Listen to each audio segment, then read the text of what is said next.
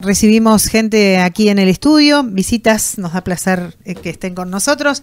Acompañándonos eh, está Marta Morales, que es la secretaria general adjunta de, del gremio ATE aquí en la localidad, junto a una trabajadora eh, afiliada de ATE del hospital local que pertenece al sector de arancelamiento, Norma Donoso.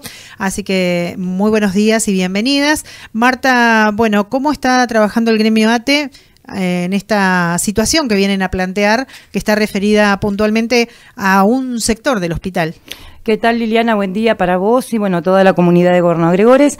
Bueno, nosotros este, desde la organización sindical ya eh, venimos trabajando con los compañeros de salud ¿no? en distintos temas. Bueno, ahora en esta oportunidad nos hace, bueno, lo que es como vos nombrabas, el área de arancelamiento. ¿Por qué? El área de arancelamiento eh, data ya de aproximadamente desde el mes de febrero, febrero-marzo de este año inclusive, eh, viene sufriendo problemas edilicios, los cuales eh, no habían sido resueltos y no son resueltos todavía a la fecha. Lo que se ha hecho desde quienes llevan adelante el hospital, ¿no? Las jefaturas han hecho parches Sabemos también que nuestro hospital data de muchos años, pero bueno, creemos que si hay voluntad y hay este compromiso, las cosas pueden salir adelante. Yo me voy a, le voy a ceder igual a Norma, que es la trabajadora, que es la que está día a día dentro del sector, para que ella le comente a la población el por qué este, los compañeros ya hacen unas semanas que llevan una medida de fuerza que consiste en un paro eh, total de actividades dentro del área. Bien, Norma, buen día, bienvenida. Bueno, un poquito para conocer cuál es la situación que, que afecta a los trabajadores de este sector que, bueno, los ha llevado a esta medida de fuerza. Hola, ¿qué tal? Buenos días y buenos días a toda la audiencia. Bueno, en primer lugar, el sector ha tomado esta determinación de llevar, eh, de llevar a cabo un paro total de actividades, ya que el área de mm, oficinas que se encuentra en el primer piso del hospital, donde en algún momento era departamento de algún profesional, eh, y, posteriormente fue acondicionado para, hacer oficinas, eh, tiene pérdidas de agua que eh, inciden directamente sobre el office de enfermería. ¿sí? Este trabajo se empezó a hacer allá por febrero, marzo aproximadamente, y tuvimos nuestras compañeras y yo y yo todas, en realidad, eh, y todos, tuvimos que em, padecer eh, los agujeros que se hicieron, tanto en el baño como en el área de la cocina, que, es, que son las oficinas, y mm, bueno, estuvimos casi dos meses con todos los escombros y demás, eh, más allá de hacer llamados por teléfonos a los directivos o a las personas que estaban a cargo del hospital para pedirles que por favor eh, pudieran eh, hacer algo de, de inmediato, porque la verdad que no era agradable de, ninguna manera entrar al baño y tener que pisar escombros o no poder acercarse a la parte donde están las, eh, las alacenas de, esa zona, de la zona de la cocina donde nosotros eh, guardamos habitualmente material de trabajo, porque era un riesgo. En realidad si cualquiera de nosotros podíamos acercarnos ahí y, perder el equilibrio y caernos adentro del pozo que se hizo, que si bien no era muy profundo, creo yo que no más de 60 centímetros, eh, Em, eh, era un peligro para, nosotros. Bueno, después de casi dos meses em, hicieron, eh, sacaron los escombros, estuvo un tiempo más, eh, estuvieron un tiempo más los, agujeros y, bueno, teóricamente lo arreglaron. Em, pero lamentablemente hace un par de semanas atrás volvió el problema, creo que, que más delicado, y volvieron a hacer lo mismo.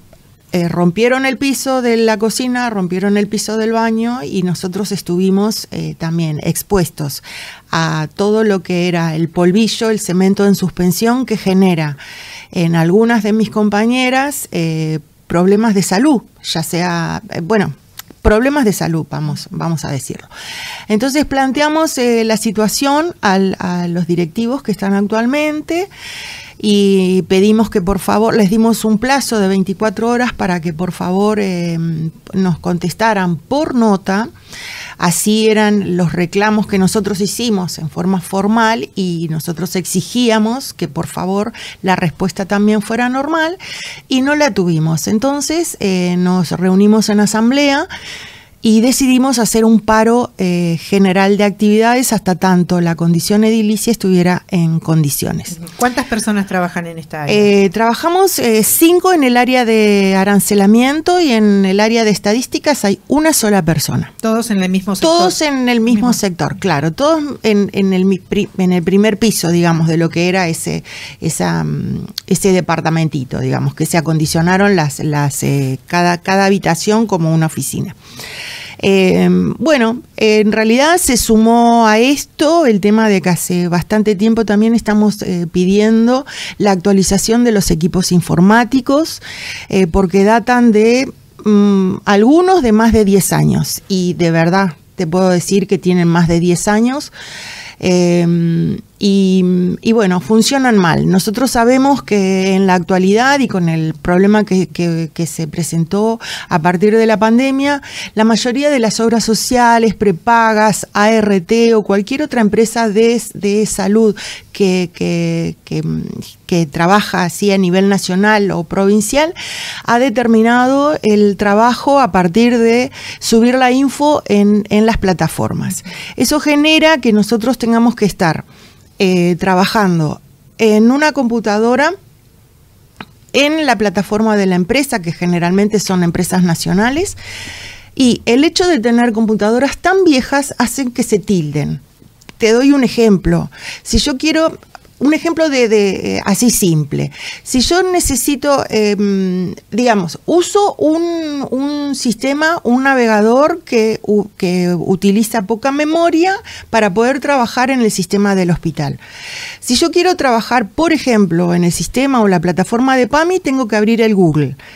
Si abro el Google, después de trabajar un par de minutos, tengo que reiniciar la máquina. Entonces, imagínate, eso genera usar muchísimo más tiempo del que debería usar para poder subir la información a todas las, em, las empresas de salud y por ende poder representar la facturación en tiempo y forma. Eso lo presentamos, no tuvimos tampoco respuesta. Y em, bueno, hay otros eh, problemas edilicios que son mucho más graves, como por ejemplo, que, que, esto no se trató en ahora, pero la verdad que se han juntado muchas cosas a través de estos años. Eh, tenemos un problema gravísimo que es, no tenemos eh, escaleras de incendio ni tampoco salidas de, emergencia.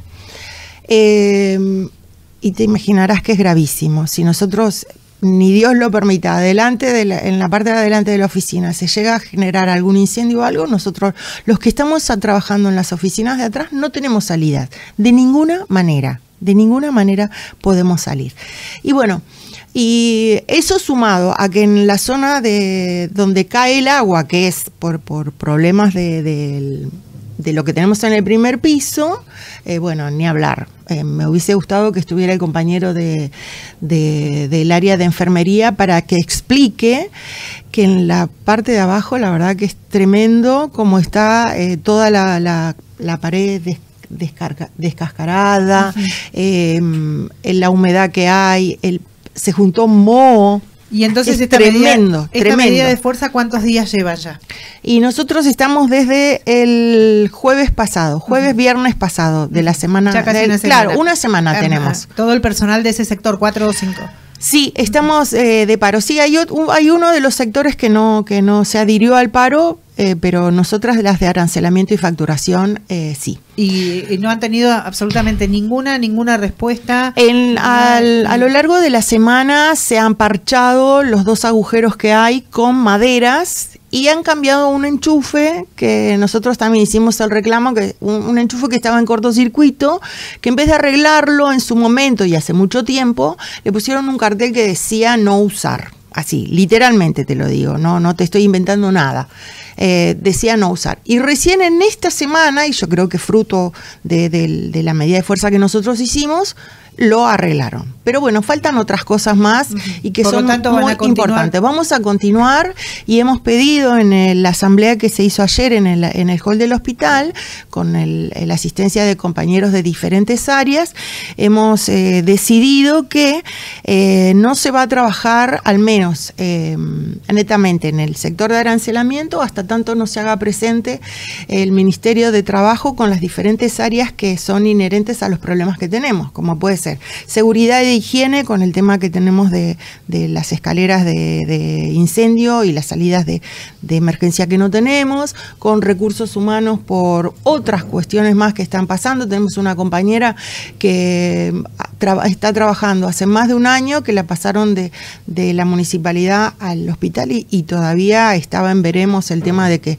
de, su sueldo, no ha cobrado durante seis o siete meses, no sé si ahora le, le llegó algo, entonces es como que vamos a utilizar eh, esta medida de fuerza para poder plantear al Ministerio de, mm, Salud eh, toda la problemática que está teniendo el hospital y, por este medio me encantaría poder em, invitar a todos nuestros compañeros de trabajo, ya sea profesionales o de otras áreas.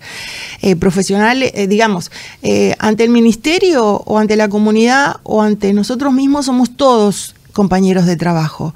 Si yo tengo un problema, te va a afectar a vos directamente porque sos mi compañero de trabajo. Entonces lo que nosotros necesitamos es que se sumen para poder eh, tener eh, respuestas, ¿verdad? Si no se pueden a nivel local, yo sé que muchas eh, dependen del, nivel provincial, entonces eso es lo que nosotros estamos buscando, que, que, se movilicen, que nuestros compañeros se movilicen y que nos apoyen. Y me gustaría, si vos, si vos me das otro tiempito para hablar, eh, explicarte realmente cuál es el trabajo que tiene eh, o que, lleva a cabo el área de arancelamiento y facturación. Quería consultar justamente eh, qué, qué, afecta, digamos, si esto tiene una afectación directa a la comunidad, a la atención que requerimos por ahí en el hospital, o en qué afecta este sector de arancelamiento que están ahora llevando esta medida de fuerza?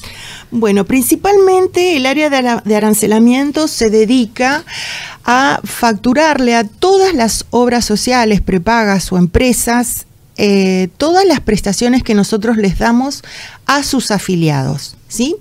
Específicamente es un trabajo que hacemos en forma mensual y con eso el hospital puede disponer de, eh, de, una parte de eso que se recupera para poder eh, costear gastos de infraestructura del hospital. Es decir, digamos que es el único dinero que el hospital puede disponer a gusto y necesidad, ¿sí?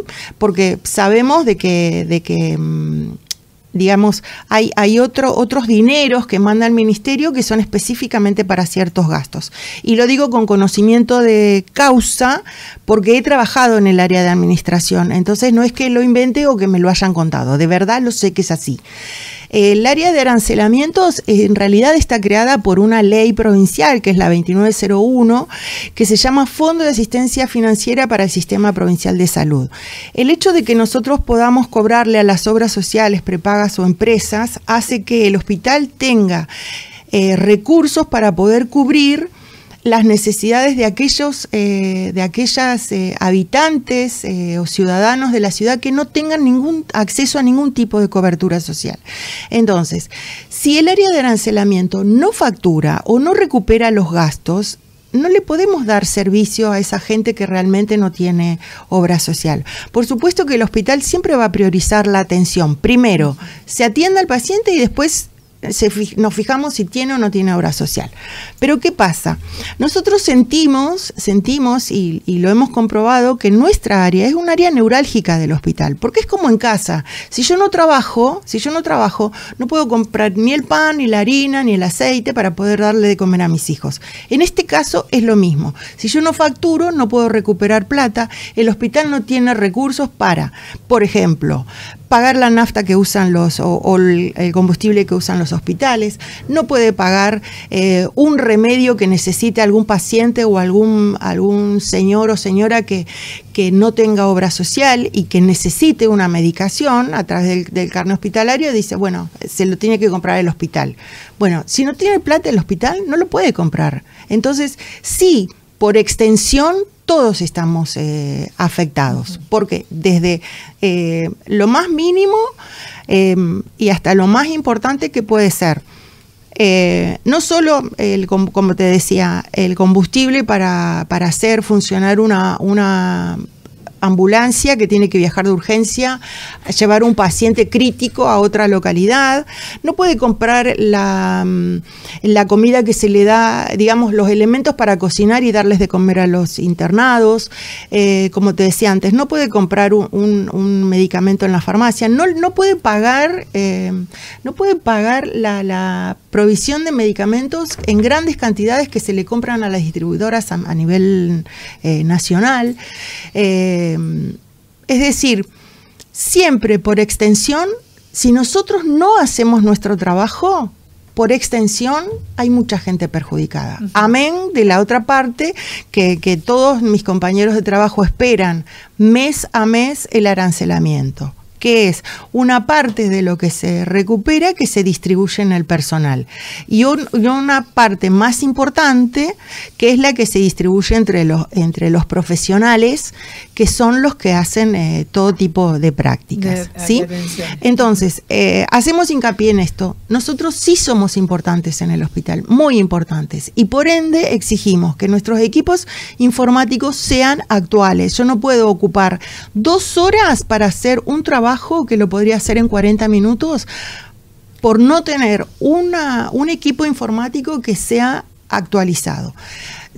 también te lo digo con conocimiento de causa. En las empresas provinciales, yo sé que no, no trabajamos en una empresa eh, privada, pero en una empresa privada o en cualquier comercio o incluso en una prepaga muy reconocida, los equipos informáticos por, eh, por, por, eh, por Ah, perdón, no, me sale la palabra. Bueno, los equipos informáticos se amortizan en tres años. Tres años. Entonces, la empresa sabe que, eh, porque deja de, son obsoletos después de tres años, avanza tanto, tanto la tecnología que en, tres años están eh, obsoletos y por ende los, los renuevan uno no pretende que cada tres años nos compren una computadora nueva. Es más, ¿sabes qué? Nos tienen que comprar nada más que el CPU porque la, pantalla está buena, el teclado está bueno, el, mouse está bueno. Nosotros necesitamos equipos informáticos actualizados. si no, no podemos hacer nuestro trabajo. Eh, esperemos que esto entonces se solucione a la brevedad posible. Digamos que es todo cuestión seguramente de abrir un diálogo con las autoridades hospitalarias y poder llegar a conseguir una, solución. Eh, así que bueno, ya en conocimiento la comunidad a través de esta visita que nos han hecho aquí, eh, nosotros eh, esperemos que, como decía, que se solucione cuanto antes este tema. Así que Marta, van a continuar entonces con la medida. Sí, Liliana, se va a continuar, bueno, tal como lo dijo la compañera Norma, cuando el ya sea el Ministerio de Salud, que en realidad es el que tiene que dar la respuesta, eh, acuda, se acerque a Gregores.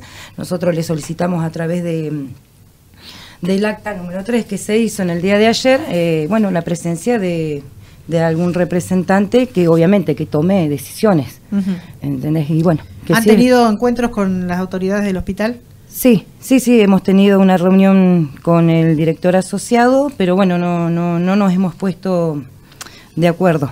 Eh, en cuanto a dar soluciones, ¿no? Eh, aclaro. Y por eso es que vamos a quienes corresponde, que es al ministro de Salud. Y esperamos que, bueno, ojalá la semana que viene eh, se haga presente porque ya él está en pleno conocimiento de esto, a raíz de nuestro secretario general adjunto de la provincia, Carlos Garzón, es el que está manteniendo reuniones y bueno, esperemos tenerlos acá la otra semana, para que se solucione este inconveniente ¿no? que genera a toda la población igual, no solamente al sector. Bueno, les agradecemos la visita aquí a la radio y esperamos tener noticias muy pronto de que ya el tema está subsanado. Y muchas gracias. gracias. Muchas gracias Liliana por el espacio.